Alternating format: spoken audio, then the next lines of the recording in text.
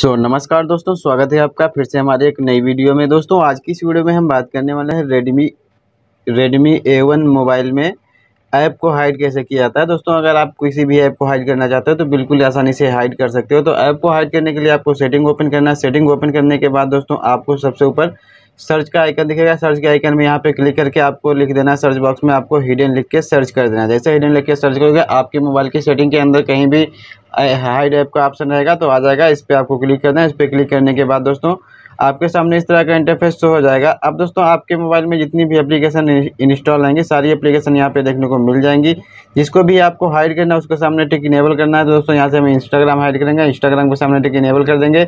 Enable करने के बाद इंस्टाग्राम हाइड हो जाएगा, लेकिन इस पर कोई लॉक नहीं लगा। लॉक लगाने के लिए आपको यहाँ पे सेटिंग का आइकन दिखेगा। राइट साइड में ऊपर की तरफ़ इस पर क्लिक कर देंगे।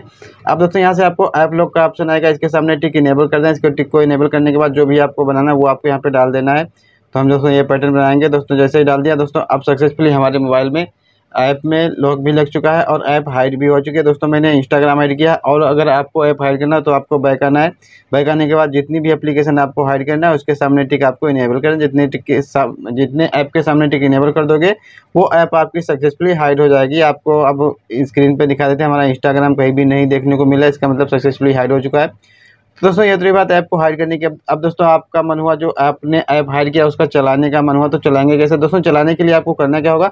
आपको स्क्रीन पे इस तरह से उंगली रख के इस तरह से आपको पिक्च आउट कर देना है। जैसे दोस्तों, आप यहाँ पे पिक्च आउट कर दोगे, दोस्तों, आपके सामने इस तरह इंटरफेस हो जाएगा। अब यहाँ पे दोस्तों, आपने जो भी आपने यहाँ पे प्राइवेसी पैटर्न बनाया हुआ था, दोस्तों, आपको वो यहाँ पे डाल देना है। जैसे आप वो यहाँ पे डाल दोगे, आपकी हाइड वाली सारी ऐप यहाँ पे आ जाएँगी, यहाँ से आप चला सकते हो। तो दोस्तों, इस तरह से आप रेडमी ए मोबाइल में किसी भी ऐप को हाइड कर सकते हो बिल्कुल ही आसान तरीके से। दोस्तों, वीडियो से आपको सही जानकारी मिले तो प्लीज़ वीडियो को लाइक और चैनल को सब्सक्राइब ज़रूर करें।